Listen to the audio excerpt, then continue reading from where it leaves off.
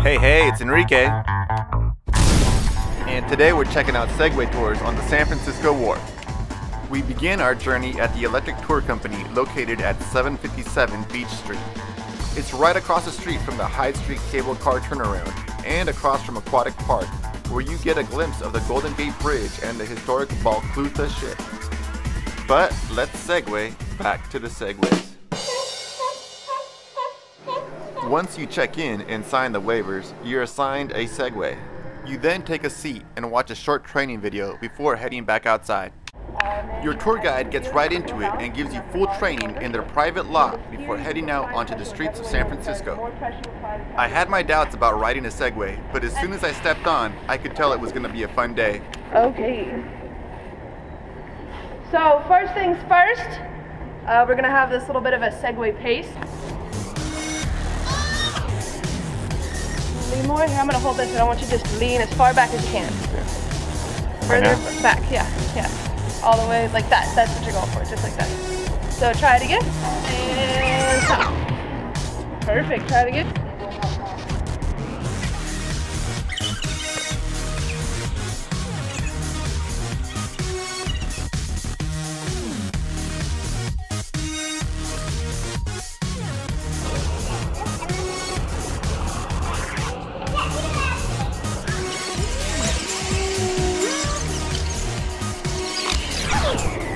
After finishing our training, we get into formation and we set out on our tour.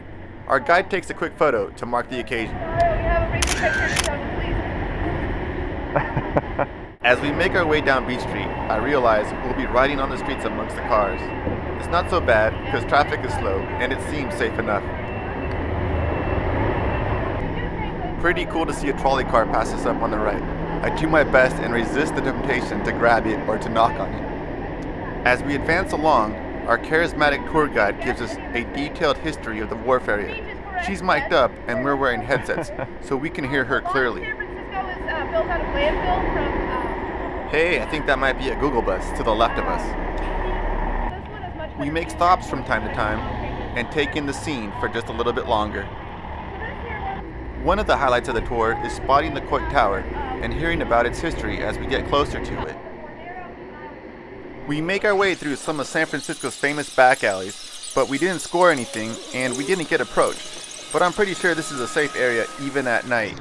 Nonetheless, when we stop and get a picture in the alley, I give my best tough guy look, just in case. There's no shortage of beautiful vistas and amazing sights as we go uphill and downhill through the San Francisco streets. Hey, hey. As we approach the Embarcadero, the familiar and scenic sights of the piers come into view. It's pretty busy with all the shops, restaurants, and boat tours, and our good friends the Sea Lions. Next up, we pass the famous Pier 39, and as we further head up the wharf, we're treated to a special behind the scenes look, just beyond the Fisherman's Grotto.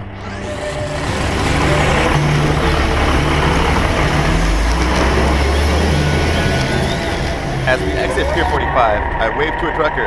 Hey, hey! Oops, he's in a hurry. Let's get out of here. As we pass Ghirardelli Square, we have one last stop on our tour. We reach Municipal Pier near Fort Mason, and we're in for a treat on such a clear and sunny day. So, The shirt said hi. No doubt, his shirt does say hi, the Hawaiian kind of hi.